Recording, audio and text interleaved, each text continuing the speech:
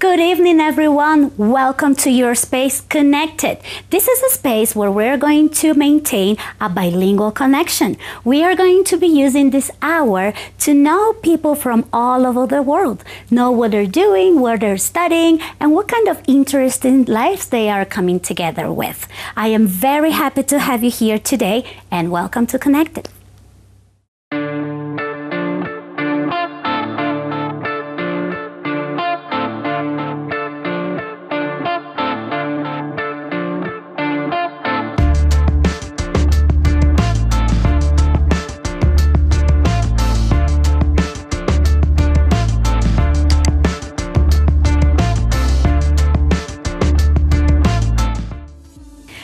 Like to tell you that you don't only see us from our Abya Yala channel, but you can also follow us on our YouTube channel, Facebook, and Twitter.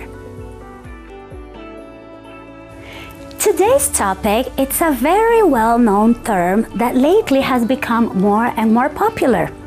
We are going to talk about entrepreneurs. Have you ever heard this word? Do you know what exactly means? Well, today we are going to find out and we're going to clarify any doubts you probably have. An entrepreneur, it's a type, it's a lifestyle. If we compare back in the day, we used to, as a life structure, follow high school, graduate from high school, follow it with uh, a career in college, and then finally get a job, right? That was basically how was the system. Uh, lately, several young people have developed a new lifestyle, a new way to be able to support themselves. So how this is when an entrepreneur comes up. And how do they really do? What they do, you first find out what are you good at. You find out your passion. You find out something that makes you happy and something that um, you can actually project yourself. Then you make you take the risk and you make you become you make that your own business. How what does that mean exactly? When I tell you that you become your own um, your own boss, it means that you have to find your own way to get to reach your goals, right? So an entrepreneur, it's a person that uh, builds and launches their own business, even though knowing that this takes a big risk. What do we mean when we say a big risk? Most of the time, the risk is financial because it's different when you go to a, a company hired and they pay for everything for you right they pay for your for your time and they pay for your work but you, when you are an entrepreneur you find your own money and you invest your own money on yourself. And that is the beauty of becoming an entrepreneur. So today it's being very well known and mm, we've seen several uh, business that actually worked out. That's the reason why people are practicing and practicing more and more. Our special guest today is a young entrepreneur that has been working on his own business the past two years. Two years. He lives in Miami, Florida, and he has he launched his own hostel. When we come back, we're gonna have questions for him. Stay tuned, stay connected. Welcome back. I'm glad you're still connected, and we are already with our friend Jay Murphy. We are connecting with him to uh, all the way to Miami in Florida.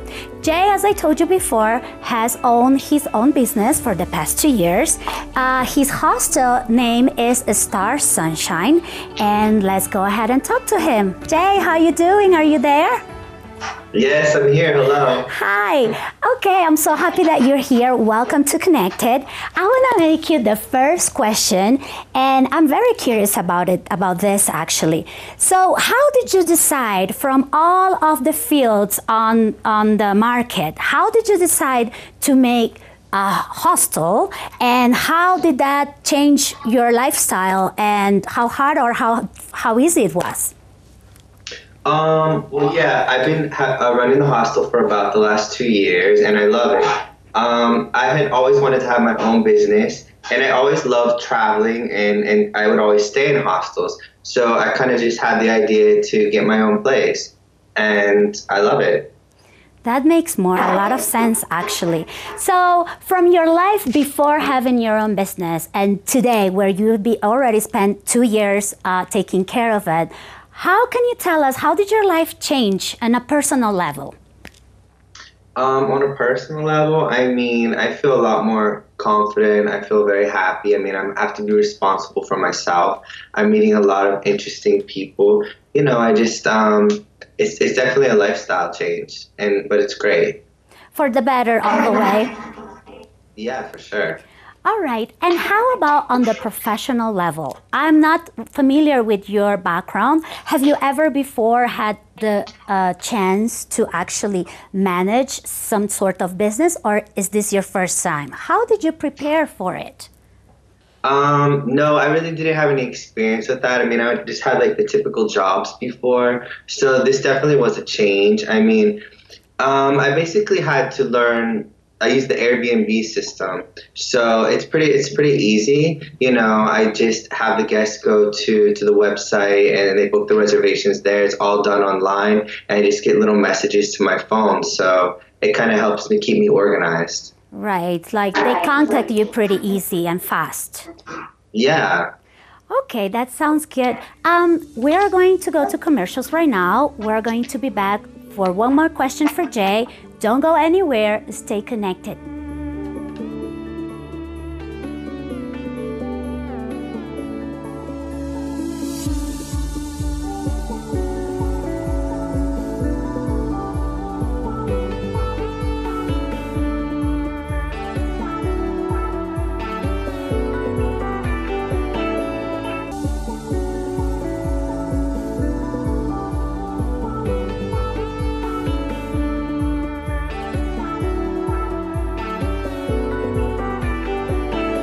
We are back with Jay and the last question for him.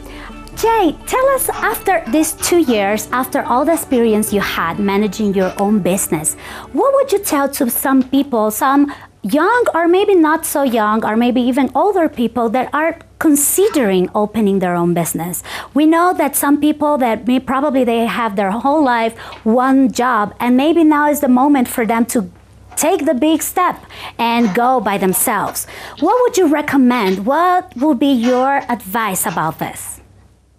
Um, you know, you just need to follow your heart and and follow your dreams and if you have a passion for something then then you can make it into your work and then the work will be you know it won't it won't be like a job you'll it, it'll be a great way to um, a great lifestyle and a great way to make money that is, sounds really right. Um, Jay, I want to thank you so much for the time spent with us. It's really, it, I think it's a very important theme nowadays, especially for the youngest, right? That want to try, want to go ahead and try to do something on their own. I want to thank you for your time, and I hope to still con- be connected with you. Well, thanks for having me on the show, and thank you, Bolivia. And um, please come to Miami and stay at my place. I look forward to seeing you guys. All right, everybody, take note. If you want to find Jay, you all you logging into Airbnb, find out the Design District in Miami, Starshine Hostel. Stay connected.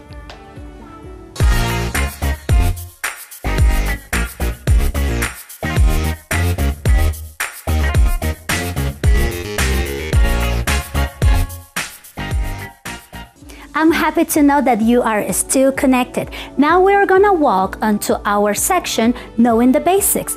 On this section, we are going to define some of the important aspects and important terms about our topic, entrepreneurs. We started the show advising you guys that in order to start your own business, you must know what are you good at once you know that, there are three important aspects you need to know to make a very good plan in order to have good results. The first one is the customer. It's very important to know what kind of people do you want to reach on, right? Especially if you are going to sell something to those pers- those people. First question that you should ask yourself is what do the people want? What do the, your customers want? Number two, you should ask yourselves, um, how do they want this? Whether you're going to offer a product or a service, you should know how people want to get that. And number three, also important to know how much they are willing to pay for it. Only knowing these three important things, you are going to be able to have uh, great results and to deliver a great service. Number two, supply and demand. Very important to know about the supply. Whether you are offering products or a service, very important to know to have those things before you actually offer it. Number two is going to be uh, demand. What, how does this change on when we talk about supply and demand?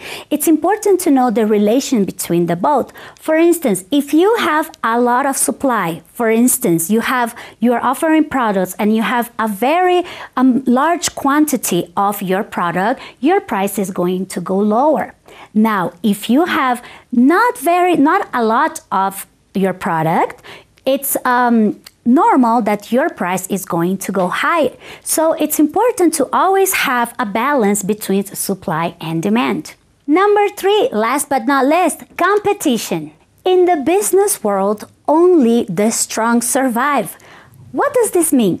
Well, it's very important to know what are the others doing. For as much as we have a big market, it's important to know what are the other people offering, right? And how are they offering? That is going to be give us an strength, right? It's gonna give us, it's gonna open a view for us to be able to reach the customer in a different way. Even though in the market today we find several companies that are probably trying to survive selling the same thing, only by you knowing what makes you different from the others will make people trying to contact you and consuming you. So always take the time to find out what are the others doing so you don't get repetitive and make sure people follow you. With those three tips, we reach the end of our show.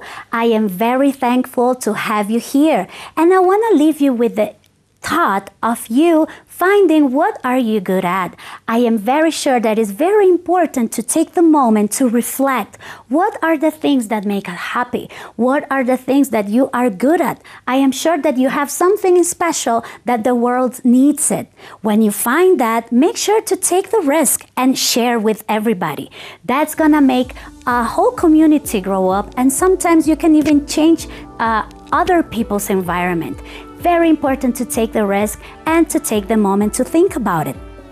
I want to remind you that you don't only see us here in the Abya Yala channel, but also on YouTube, Facebook, and Twitter. I will see you in seven days. Stay connected and thank you for watching.